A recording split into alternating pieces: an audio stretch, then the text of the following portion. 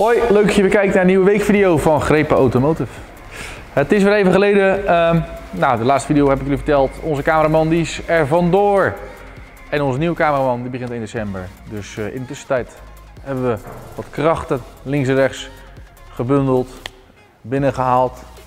En die eh, hebben deze video gemaakt, laat het zo zeggen. Allemaal onze cameraman en Sam Meijer, die hebben allebei beelden verzameld met mij en Thierry. We hebben dikke auto's binnen, Ferrari, F12, Novitec, de RS6R met Akrapovic. En hij wordt nog eens een keer getuned richting heel erg veel vermogen. Ehm, Q8 met een appakket, weet ik veel. Heel veel. Blijf kijken en veel plezier.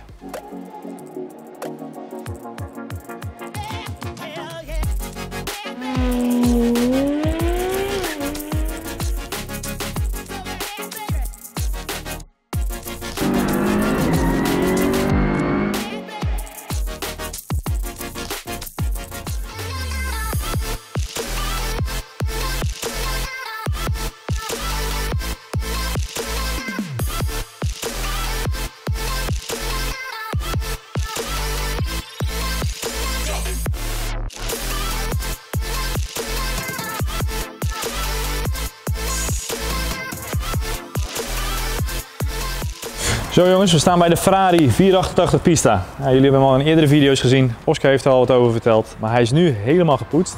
Ja, het is echt bizar hoe mooi die kwaliteit van die lak weer is geworden.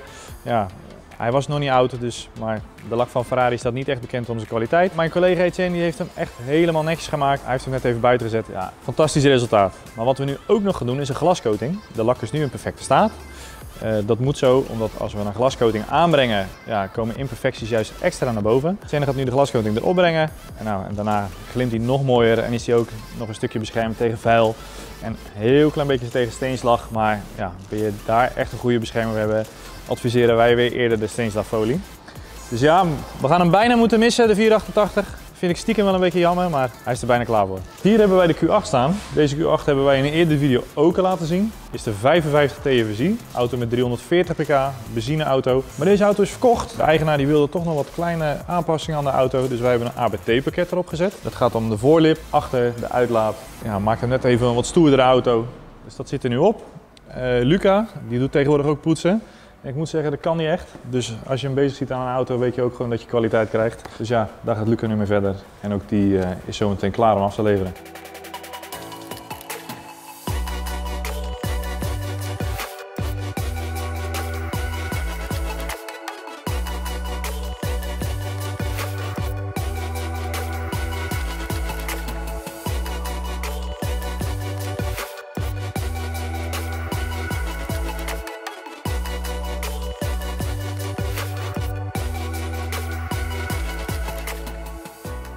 Werkplaats, we zijn er weer. Um, de 812, die laatst is afgeleverd.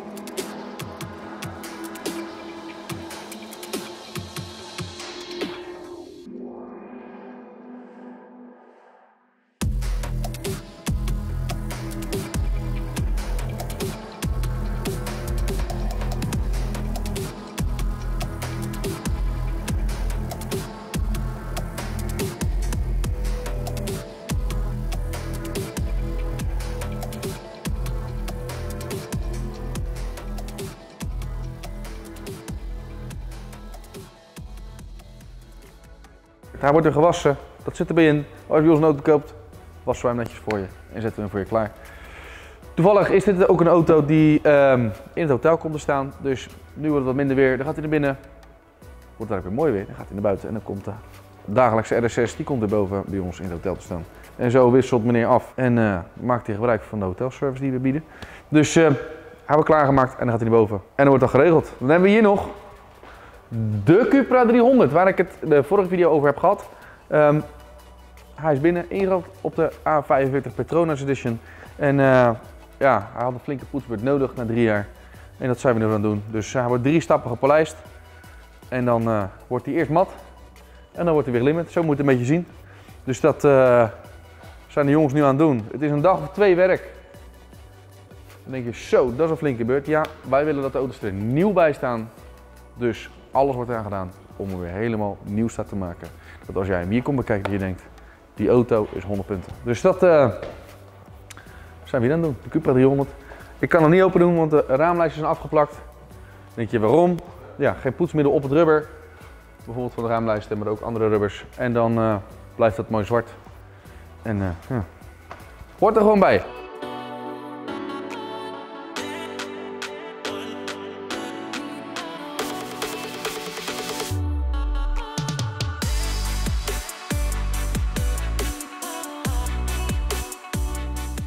Dan hebben we nog de Roma, de Ferrari. Hij is nu helemaal klaar. We zijn begonnen met de steenslagfolie, dus eerst gepoetst en dan de steenslagfolie erop. Uh, we hebben het kenteken erop gezet. En als laatste stap hebben we nog een keer helemaal gepolijst en hebben we voorzien van een glascoating van Angel Wax. En uh, daar staat hij nou klaar voor. Hij is aan het drogen. Hij is gisteren gedaan, maar het is toch een speciaal type uh, glascoating. Dus je moet hem in ieder geval minimaal 24 uur laten rusten. Het liefst nog wat langer, eigenlijk een paar dagen binnenhouden. En dan uh, ja, heb je het optimale resultaat wat je wilt. En dan uh, wordt de lak keihard. Een hele diepe, diepe glans. Want toen die binnenkwam was het echt een matte, mat blauwe auto om te zien. Uh, het is een unikleur. Extreem kwetsbaar voor krasjes en dingetjes. Omdat het, ja, dat is nou eenmaal bij een unikleur. En nu met de glascoating heb je dat niet meer. Blijft die unie, blijft die mooi en blijft die glimmen. Dus ook deze auto staat klaar en we gaan door naar de volgende. Want hier staat weer een Range over. Hij staat nu eventjes in de acculading, want hij is een aantal keren open en dicht geweest. De ramen bediend enzovoort. Dus we even de accu weer opladen. Hij was bijna leeg, maar niet helemaal. Dus uh, als dat gedaan is, dan gaat de steensfolie op, op de neus. Het is een bekend fenomeen en uh, populair, maar extreem belangrijk voor je auto. Want waarom? Dit, soort auto's worden gebruikt bijvoorbeeld in de bossen of slechte wegen, wat dan ook. Dus ook steenslag wil je voorkomen, krassen wil je voorkomen, enzovoort, enzovoort, enzovoort. En als moeders de vrouw met de kinderen en wel net eventjes een schrammetje van een paaltje neemt bij de Albertijn, dan wil je dat dat ook mooi blijft. Dus dan kan je ook zeggen, nou dan raak ik in ieder geval alleen de folie maar. Nou, er zijn ook genoeg voorbeelden van dat dat werkt. Dus deze auto gaat in ieder geval niet door moeders de vrouw gereden worden. Dit is echt een terreinwagen waardoor die gebruikt gaat worden. Maar ja, voor alle markten hebben we iets.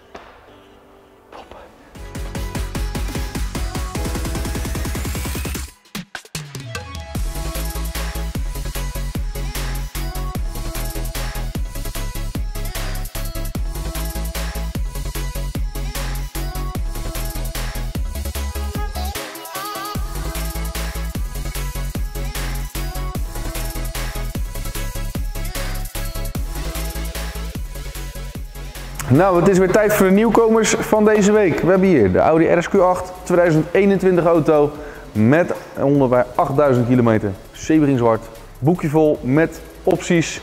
Alcantara hemel, uiteraard vol leer, rode stikjes, carbon inleg, carbon stuur, carbon dit, dat, zus, zo. Alcantara, je kent het wel. Alles zit erop. Gepolijste velgen deze keer, want de laatste keer twee keer dan natuurlijk met uh, zwarte velgen. En nu hebben we weer een editie met gepolijste. Um, mogen we zeggen, ja maar ik wil toch zwarte wielen. Ook dat kan, dan maken we ze gewoon zwart. Maar andersom is het even wat moeilijker. Dus wil je hem ietsjes chiquer met gepolijste velgen in plaats van helemaal zwarte velgen. Dan hebben we die nu ook. Dus uh, wat zijn het er? Drie stuks op voorraad.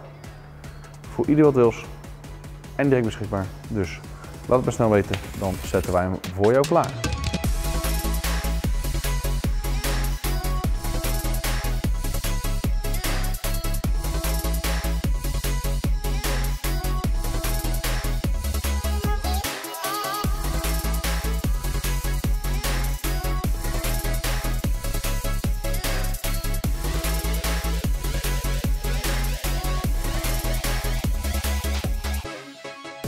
Dan de volgende nieuwkomer. Een opvallende verschijning. Want jawel, Aston Martin DBS Superleggera Volante. Oftewel de cabriolet in een oranje uitvoering. Zie je niet veel. Speciale kleur, een dure kleur. En de combinatie is fenomenaal. Metallic oranje, carbon, spiegels, carbon, daklijsten, carbon, bumperdelen, carbon, alles carbon. Met zwarte sierlijsten ook nog eens een keer. Maar gewoon extreem dik. Wat is helemaal mooi detail? Jullie weten allemaal, voorheen werd Max Verstappen gesponsord met zijn Red Bull team door Aston Martin. Max is uiteraard oranje gekleed als het gaat om onze tribunes. En uh, dan wordt het alleen maar mooier. Nummer 33 op de motorkap. Het is een auto die stond op Zandvoort tijdens de Formule 1. En daar werd deze auto gekocht door de eigenaar. Alleen die zegt ja, ik vond het eigenlijk zo gaaf. Max Verstappen, oranje, nummer 33, Aston Martin. Dat kan allemaal niet beter. Maar aan de andere kant, hij heeft zoveel auto's. Als er iemand anders blijer van wordt, dan mag het ook. Nou ja, vooruit dan maar. Dus, niet te koop. Omdat het een slechte auto is. Maar te koop. Omdat er nou eenmaal zoveel heeft. Nou ja, dat kan toch. Interieur, oranje stiksels. Zwart leer met oranje stiksels. Carbon stuurwiel. Alles afgewerkt in carbon. Deurbekleding carbon. Bonen geluidssysteem. Helemaal vol. 2019 auto, 15.000 kilometer. Schadevrij en die onderhouden. Dus uh, alle scenario's zijn goed. En een opvallende verschijning. 12 cilinder. 735 pk, 900 Nm en een topsnelheid van 340 km per uur. Met een cabriolet.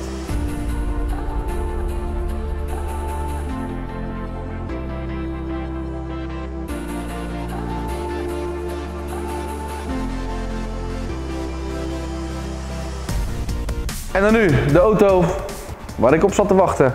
En waarschijnlijk jullie ook. De Audi RS6 Apt R. Een van de 125 stuks gebouwd. En wij hebben hem. Voor de meeste mensen is het best wel een bekende auto, denk ik. Dus de, de uitvoering op zich, deze auto niet per se, denk ik. 125 stuks gebouwd.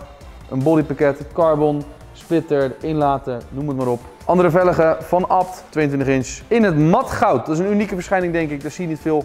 Um, kijkers weten dat ik gouden velgen op auto's altijd heel dik vind. Dus een persoonlijk tintje.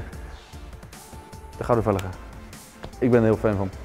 Carbon delen, spoiler, diffuser, enzovoort, enzovoort, enzovoort. Maar nu komt het mooie moment. Je denkt van ja, nou, dit is het dan, een van de 125 stuks. We gaan hem nog unieker maken. Want hij heeft standaard nu, dus in het pakket, 740 pk. En uh, daar gaan wij verandering brengen. Want waarom? Um, er zit nu een origineel apt systeem onder. Daar gaan we verandering brengen, want dat is een uitlaatsysteem die te vergelijken is met een Mailtech aardige kwaliteit. Het is een Remus trouwens. Wat. Wij gaan er van voor tot achter, downpipes en al. Akrapovic gaan we erop zetten, die ik nog op voorraad liggen. En ja, als je dan wat dik gaat bouwen, dan ga je het echt dik doen.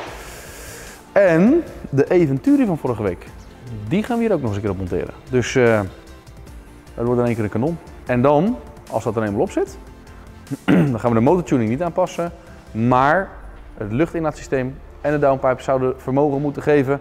Dus we gaan ook gelijk aanstaande vrijdag naar de testbank en gaan we meten hoeveel vermogen die heeft. Bens is er ook fan van. Hij wordt gelijk wakker.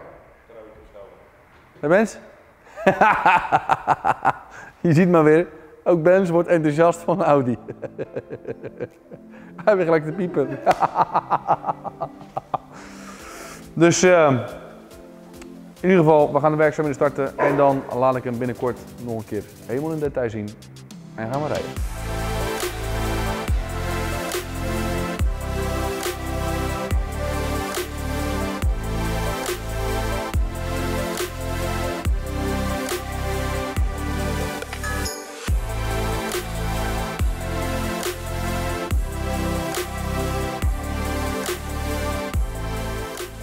Nou, we zijn in de werkplaats beland met de RS6 Abt R. Jullie hebben hem al gezien. Ik had al aangekondigd, we gaan er iets aan veranderen. En het enige wat nou echt ontbrak bij deze auto is niet het vermogen, maar het geluid. De Abt R die is uh, origineel uitgevoerd met een catback uitlaatsysteem met de originele downpipes. Nou, en de originele downpipes, dat is algemeen bekend, OPF en een katalysator enzovoort. En dat werkt niet zo goed voor het geluid. Ik heb hier één kant liggen.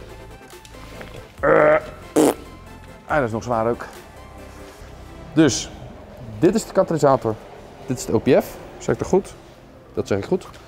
En um, die is nu dus vervangen door uiteraard twee stuks downpipes met sportcat van de van Akrapovic. En um, dus we gaan nu de software gaan we aanpassen dat de auto geen foutmelding geeft op het OPF filter. Hoppatee. En uh, voor de rest gaan we niks aan het vermogen doen, want dat wordt weer aangestuurd door de externe computer van Abt. Die zit hier op de ECU. Dat, wordt, ja, dat is nou origineel zo. Maar zeer waarschijnlijk gaan we die eraf halen. Dan gaan we naar de testbank. En dan gaan we even doorprogrammeren. En dan zegt men dat je richting 1000 pk kan. Zullen we dat maar eens even proberen dan? En dan hebben we ook nog het Eventuri inlaatsysteem. We hebben vorige week hebben we laten zien aan jullie. Inmiddels zit hij al op de auto. Toen deze gemonteerd werd, was er helaas geen cameraman bij. Maar goed, dat geeft niet. We kunnen hem in ieder geval laten zien zoals hij er nu op zit. Door deze sleuven gaat de lucht naar binnen. Hier zit het filter, het sportfilter. En gaat het hier de turbo's in. Een heel belangrijk detail is, zijn deze twee inlet buizen eigenlijk. Die we, die we ook hebben vervangen voor een Eventuri exemplaar. Ehm, deze zijn ongeveer een derde groter dan origineel. En uh, ja, zorgen gewoon voor gigantisch veel meer lucht richting de turbo's. Dit zijn natuurlijk aangepaste turbo's van de Apt Air. Die hebben ook gewoon, kunnen meer lucht aan en hebben meer lucht nodig. En daarom kan je zomaar eens een keer 50 pk winnen door alleen maar dit systeem te monteren. Dus uh, ook iets wat we gaan testen. Dus we gaan naar de testbank. Gaan we kijken wat voor vermogen geeft hij nu met Sportcats. En eventueel in het systeem zonder dat we de software voor het vermogen aanpassen. Dus daar gaan we alleen dus OPF en Sportcat gaan we aanpassen in de software. Meer niet. En dan zien wat er aan vermogen uitkomt. En voornamelijk het geluid, want dat is het belangrijkste.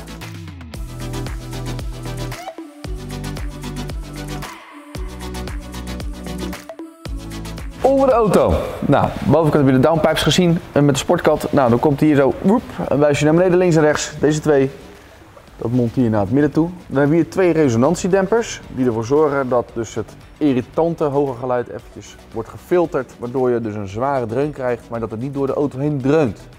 Veel merken hebben daar wel last van. Neem eventjes de goedkopere merken, want dit is uiteraard de duurste oplossing die er is voor dat systeem, maar wel de beste. Dus deze zorgen ervoor dat je geen irritante resonantie in de auto krijgt. Dan hier zo hoep, twee eindstukken en wederom weer een X-pijp met daarin ook een soort resonantiedemping.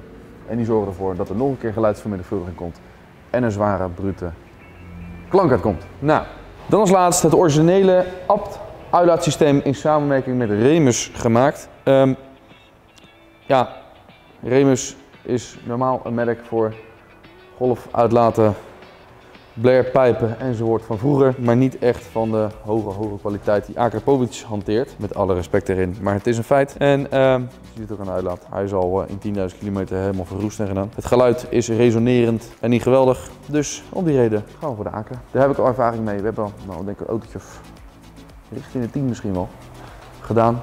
Uitlaten gemonteerd. We hadden de allereerste van Europa en, en zeker weten Nederland. En uh, daarna zijn er een hoop gevolgd. En uh, nou, nu gaan we, denk ik, prima een van de allereerste RS6 R doen met een andere uitlaat. En voor zeker weten met de Acra met een compleet downpatch. Afmonteren en gas erop.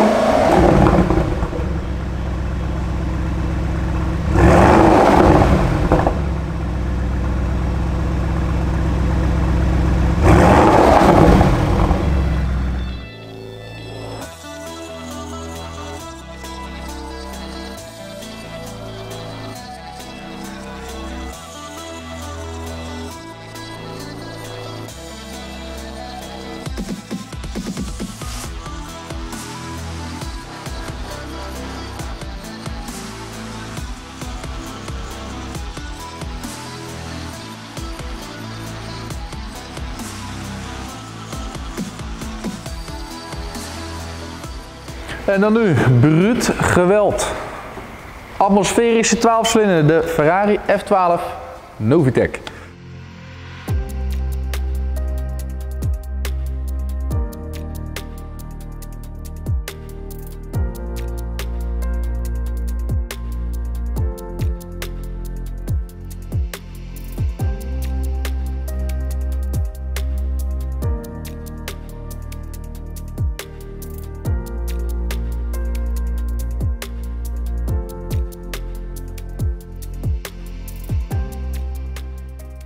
2014 auto met 39.000 kilometer en compleet uitgevoerd met het Novitec pakket. Je kan alle opties aanvinken van de Novitec lijst of je neemt een Enlargo, dat is de white body versie. Maar dit is dus de type met alles Novitec. Dus carbon spoiler, carbon lippen, motorkap, lucht inlaten, carbon splitter, carbon grill, alle lijstjes, alles wat je kan bedenken van Novitec zit erop. De velgen en dan de belangrijke factor, de uitlaat. Complete uitlaatlijn van voor tot achter, uh, dus vanaf de spruitstukken. En uh, maakt een giga, giga, giga mooi geluid. Qua vermogen, de 12 cilinder, 740 pk. Er is wel wat vermogen bijgekomen door de uitlaat. Hoeveel het is, weet ik niet. Maar goed, dat zal een pk of 20 zijn. Aan de achterkant Grote carbon spoiler, heel uniek zie je nagenoeg nooit. Omlijsting van de achterlichten, welke dus ook gesmoked zijn. Carbon, grote carbon diffuser, eigenlijk een soort dubbele diffuser die ook een downforce werking creëert door de lucht die er doorheen gaat en de auto naar beneden doet samen met de achterspoiler. En uh, carbon regenlicht, ook leuk. Dus. En uiteraard de dikke uitlaatpijpen.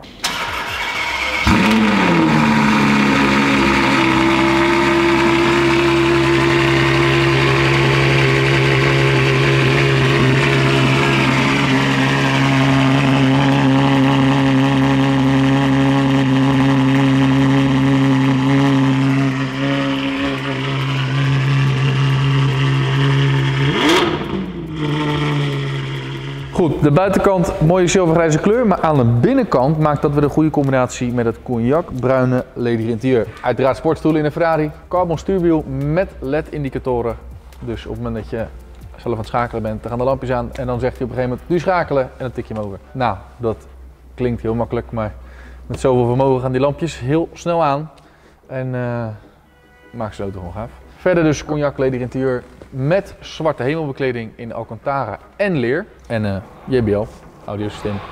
Dus als je nou denkt, die uitlaat, die ben ik een keer zat, doe nou maar gewoon muziek.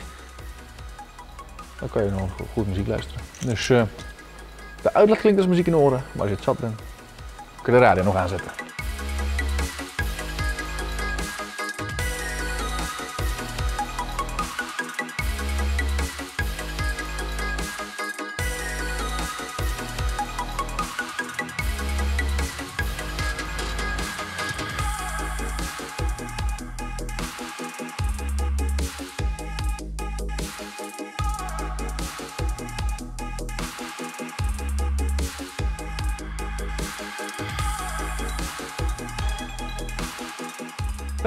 Jongens, de weekvideo. Het was me een aantal weekjes wel, want ik bedoel, ik zeg wel een weekvideo, maar dit is van ongeveer twee weken. Ik ben zelf ook twee weken weg geweest. Ik ben ziek geweest, ik heb corona gehad. Ja, wel jongens, ik was de lul. Maar goed, ik heb het overleefd. Slechte mensen krijgen niet kapot. Het bewijst het maar weer. Volgende week begint onze nieuwe cameraman Jeroen. En uh, ze zeggen dat het een talent is. We gaan het meemaken. De spulletjes zijn binnen om ermee te gaan beginnen. Dus... Uh, de komende video's zullen van hem afkomstig zijn. En uh, nou, kijken wat hij ervan maakt. In ieder geval bedankt voor het kijken. Onze cameramannen bedankt voor het tijd maken. En Kurt nog bedankt vanuit het zonnetje dat hij deze video heeft gemaakt. En ik zou zeggen, goed weekend. Tot later. Hoi.